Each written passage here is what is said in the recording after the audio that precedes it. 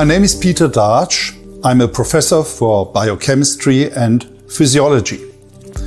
My company, Dartsch Scientific, is working since about 20 years in the interdisciplinary field of medicine, biochemistry, chemistry, biology, and physiology.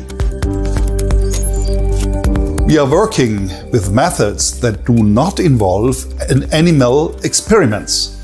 That means we are exclusively working with organ-specific cell cultures.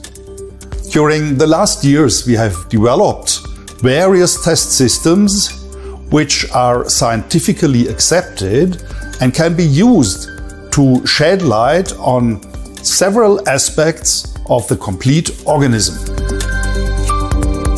Since years, we are also conducting tests on the effect of mobile phone irradiation on the cellular level and the possibility for the compensation by a device. Mobile phones are high performance devices which use a lot of energy and produce a lot of heat. On the other hand, they also produce non-thermal uh, irradiation, which is mainly responsible for the phenomenon of oxidative stress. Oxidative stress represents a situation in which an excess of free oxygen radical exists. The defense mechanism of our body are not able to inactivate the excess of the existing radicals. This overload of free radicals might produce a situation of discomfort, but may also produce cellular damage which has been well documented scientifically. In 2020, we had the opportunity to examine a medic amber which is produced and distributed by Somavedic Technologies from the Czech Republic. We wanted to know whether the Medic Amber is able to compensate unwanted mobile phone irradiation. According to the statements of Somavedic, the Medic Amber creates a special field with wave characteristics which is able to eliminate free radicals. Since I'm mainly working in the field of conventional medicine and science, I am basically a very skeptical person. On the other hand, I'm also open-minded and I'm also looking for things which one might expect no effect at first sight. At first, we conducted a preliminary test to see whether the Medic Amber is able to compensate the irradiation of an actively transmitting mobile phone. And indeed, it did. Therefore, we conducted further experiments over a period of several weeks. We conducted the tests with so-called functional neutrophils.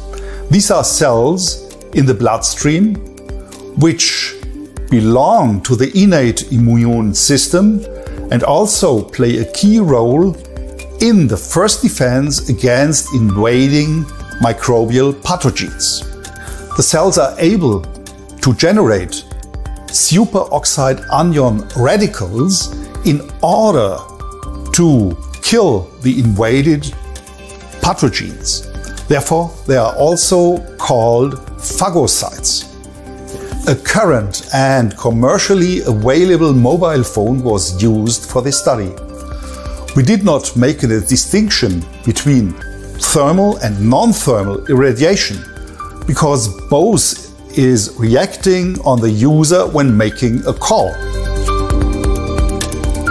The experimental setup was done in such a way that the cell culture flasks were placed on the switched off display of the actively transmitting mobile phone on one side and on the other side on the back of this mobile phone. This represents the situation that the irradiation is directed towards the user and away from the user. The total exposure time with the actively transmitting mobile phone was 4 hours at 37 degrees Celsius by using an external mini incubator. Afterwards, the cells were incubated for another 20 hours because normally the effect on the cellular level does not occur directly after the exposure. Cells which were not treated by mobile phone irradiation served as corresponding controls. Thereafter, the metabolic activity of the cells and their generation of reactive oxygen radicals was measured by a colorimetric assay.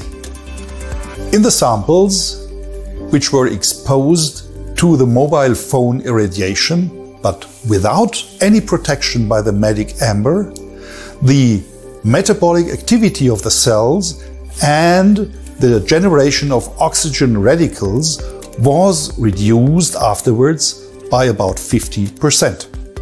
In contrast, the use of the medic amber during the exposure to the actively transmitting mobile phone resulted in a very strong and significant compensation of the unwanted effects. This means the cells had a largely enhanced basal metabolism and generation of oxygen radicals. Moreover, we also measured an improvement of the efficiency of the medic amber when it was present for a longer period of time in one room. According to our examinations and the obtained results, the use of the Medic Amber can be highly recommended to reduce unwanted mobile phone irradiation.